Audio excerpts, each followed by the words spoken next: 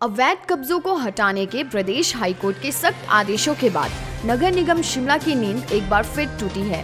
निगम ने आदेशों पर अमल करते हुए पूरी टीम को लेकर शहर के राम बाज़ार और लोअर बाज़ार में अवैध कब्जे हटाए गए। निगम ने अवैध निर्माण को हटाने की मुहिम तेज कर दी है। प्रदेश हाईकोर्ट ने नगर निगम को दिवाली से पहले तुरंत अवैध निर्माण तोड़ने के आदेश दिए थे, लेकिन राजनीतिक दखल के चलते निगम अवैध निर्माण पर हाथ नहीं डाल रहा था।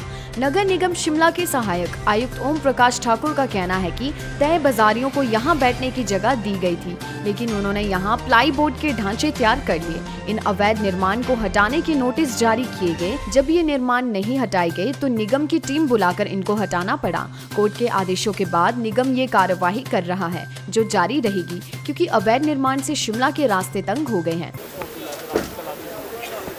इनको दो बार हमने टाइम दिया था कि ये जो म्यूनसिपल कॉरपोरेशन के संज्ञान में आया था कि यहाँ पर सेमी पक्की स्ट्रक्चर्स बनाई हैं जिसमें प्लाईवुड वगैरह लगाया हुआ था। तो इनको हिदायत दी गई थी कि जिस स्थिति में हमने इनको दुकानें दी थी उसी स्थिति में होनी चाहिए। तो कुछ लोगों ने पहले कल शाम तक कर लिया था। कुछ रह गए थे जो अभी लगे हैं करने उनकी हम भी सहायता कर रहे हैं। और आ, अच्छी बात तो ये है कि इन्होंने सबने अपने आप ही बहुत सारा काम कर लिया। प्रशासन को कोई सख्त कार्रवाई नहीं करने पड़ी।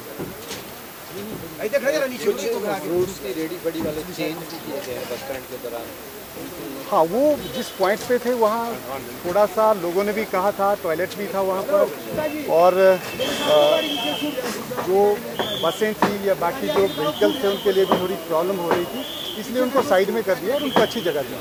और नगर निगम कृत संकल्प है जो हमारे वेंडर्स हैं उनकी उनको बसाने के लिए जैसे बैंडर्स जोन का प्रावधान है, जो स्मार्ट सिटी में काफ़ी ज़्यादा फंडिंग इनके लिए रखी है तो नगर निगम और सरकार जो है कृत संकल्प है इनको बसाने के लिए? अब जैसे भी, जैसे जैसे अभी अगर आपने देखा होगा, सब्ज़ी मंडी के पास भी एक बैंडर्स जोन की एक बिल्डिंग बन रही है, उसमें भी कुछ को रिहेबिलिटेट करेंगे, और भी काफ़ी स्थानों पर इनको रिहेबिलिटेट करेंगे ऐसा पहली बार नहीं है कि शिमला में अवैध निर्माण पर इस तरह कार्यवाही की गई हो।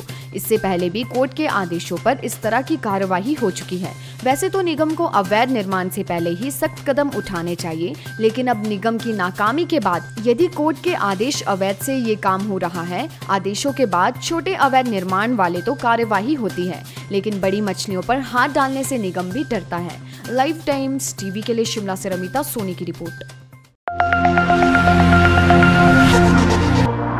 लाइव टाइम्स टीवी के फेसबुक पेज को लाइक करें और यूट्यूब चैनल को सब्सक्राइब करना मत भूलिएगा।